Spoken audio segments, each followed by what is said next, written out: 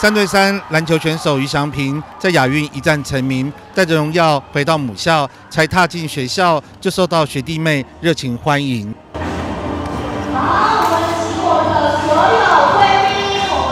市长谢国良送上特制版篮球，而对于基隆目前还没有亚运夺牌相对奖金惯例，当场指示教育处两周内严议办理。这个唤起了我们对于这个社区篮球也好，学生篮球也好，甚至基隆的直篮也好，这个大家都非常努力，想要把我们的篮球活动办得更好。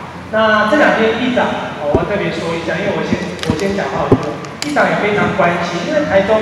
有好的奖金制度，哦，那基隆目目前为止还没有一个固定的惯例。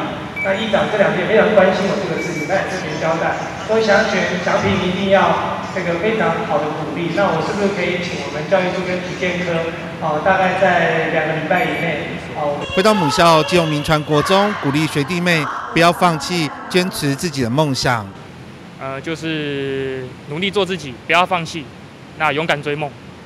呃，其实就是一样，一直走在篮球这条路上继续努力，不会说因为得了这个金牌就有什么太大的变动。这对我来说是一种助力，那我觉得也是一个很美好的回忆，就是把它当成一个很棒的经验，然后继续发展下去。出席活动的议长童子伟和于祥平及教练徐伟胜都是多年好友，特别准备十二号球鞋送给于祥平。我们今天特别准备了一双球鞋要送给他。其实基隆买不到十二号的鞋子，因为基隆很少这么高大的选手。他们的教练伟盛穿十三号。就国中国二我认识他的时候，他其实我就觉得他协调性非常的好。那基本上，因为他你看他的身高，他国中的时候在基隆是打中锋啊，到高中去慢慢逐渐的转型。我想后来现在大家可以证明，我们未来这个选手转型的非常成功，也希望他未来可以在职业队可以好好的发挥。那我们基隆也希望未来有机会。可以引进职业队来进驻，那希望祥平未来就是我们基隆的代言人。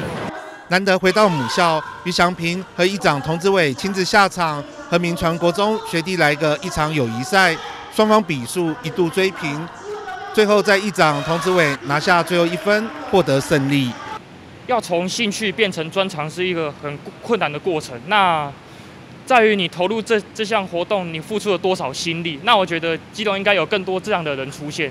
愿意从兴趣慢慢的把它变成专长，投入更多的心力在这项运动上面，我觉得对基隆才是一种帮助。这么多年来，大家都知道我们基隆培养出非常多优秀的国手篮球选手，包含林志杰、李启义等等。好，那这几年民传国中在篮球运动上面发展的非常不错。那我也希望教育处未来的资源可以整合，让我们的篮球的环境可以更好。身高一百八十八公分的于祥平，目前在一所大学篮球队，主要位置是后卫及小前锋。对于下一个阶段，表示将投入选秀，希望能够加入紫篮。记者黄少明、金融报道。